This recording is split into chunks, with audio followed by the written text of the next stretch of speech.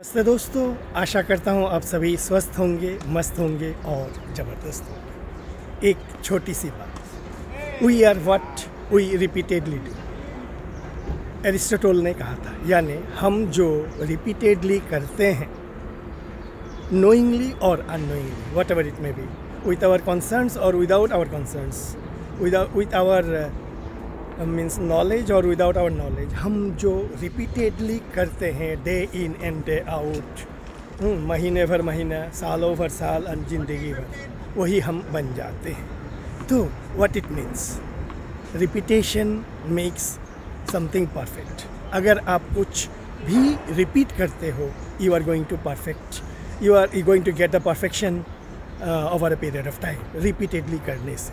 यानी अच्छा करोगे तो अच्छा परफेक्शंस आएगा, बुरी करोगे तो बुरा परफेक्शंस आएगा। अगर हम रिपीटेडली टीवीज़ देखने का हैबिट डेवलप करते हैं सीरियल्स देखते हैं न्यूज़ चैनल्स देखते हैं गेम्स देखते हैं, ठीक है, सब कुछ देखना ज़रूरी है।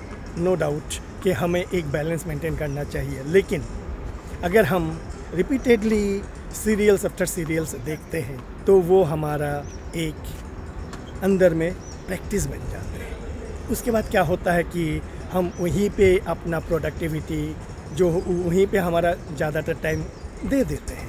तो सिमिलरली उसके जगह पे अगर हम कुछ प्रैक्टिस लगा, कुछ कामों, अच्छे कामों को प्रैक्टिस करेंगे just like the Sachin Tendulkar before he became Sachin है? आठ से दस घंटा, बारह घंटा non stop day in day out practice करते थे क्रिकेट को। यानी जब वो सचिन सर बच्चे थे, वही तभी से उन्होंने अपना जो प्रैक्टिस है रिपीटेशंस कंटिन्यूसली करते जा रहे थे, करते जा रहे थे, करते जा रहे थे। And not only that one just before the match also he used to practice a lot क्योंकि practice makes someone the perfect और repetitions what we do that becomes our way of life तो ये हमारे ऊपर है, हम किस चीज़ का रिपीटेशन करने का कोशिश करेंगे।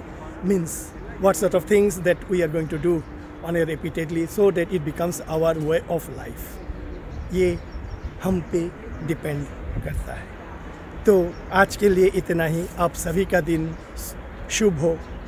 नमस्ते।